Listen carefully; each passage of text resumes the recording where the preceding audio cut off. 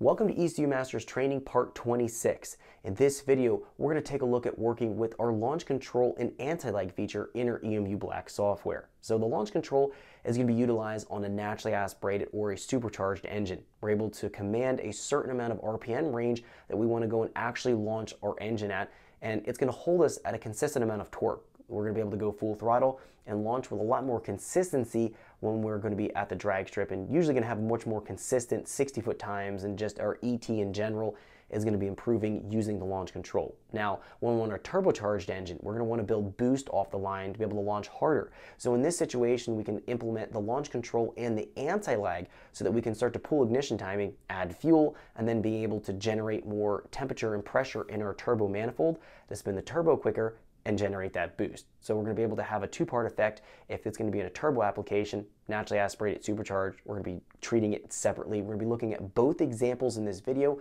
of how to implement the launch control and anti-lag properly for the application we're working with. So without further wait, let's jump in so we can check this out.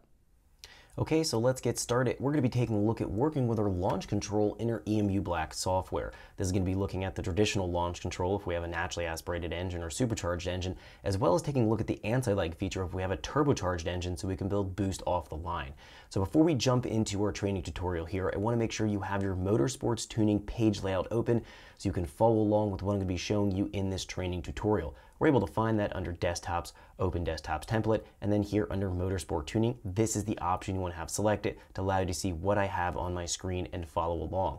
Now, if you're going in and you don't find your Motorsports Tuning template, um, in that folder that you've downloaded maybe from the beginning of the training course, go back in and re-download it again. I've been adding some more page layouts as I've been going through the training tutorial videos and creating them, so you may not have the most up-to-date page layouts so make sure you grab that zip file. It's located right in the course, uh, the course directory with all the videos. You'll be able to get the latest uh, uh, page layouts here and, and, install them onto your uh, folder so you can follow along. So click cancel here because I have my uh, motorsport tuning page layout open here on the screen already. I'm going to move from my setup page right across here into LC for launch control. Now within here I have all of the tables and all of the data in order to properly dial in launch control. There's a whole bunch of things we got to talk about here.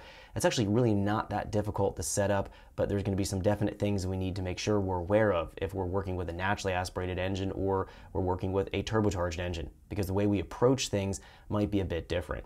Let's talk about what we have on screen here, and then we'll start to go through setting up launch control for a naturally aspirated engine first, and then for a turbocharged engine. And actually, if it's naturally aspirated or supercharged, the way we're to be setting up and configuring things is going to be pretty much the same way. Turbocharged will be a bit different.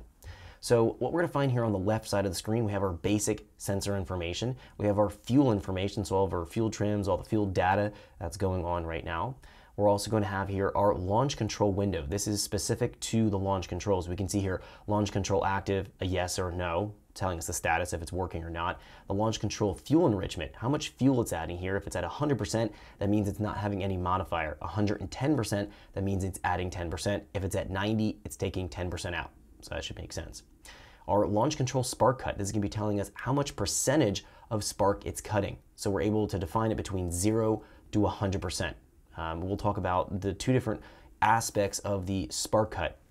It'll go and then finally have a full hard cut, either in fuel cut or spark cut, depending how we define it, once it reaches a certain RPM. But we're able to interface some of our tables here doing our spark cut pro programming and actually being able to specify what we want that percentage cut to be at, which is nice.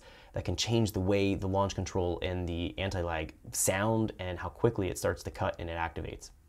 We're also going to find we have launch control ignition retard. This is used on a... Thanks for checking out our teaser clip. If you want to see the rest of this video and more than 500 hours of current EFI training we have to offer, make sure you click right here. If you want to go and check out more teaser clips from this training course, click here. And you don't want to miss any of the videos we're going to be releasing on this channel, so make sure you subscribe and click here. Thanks for watching, and I'll see you guys later.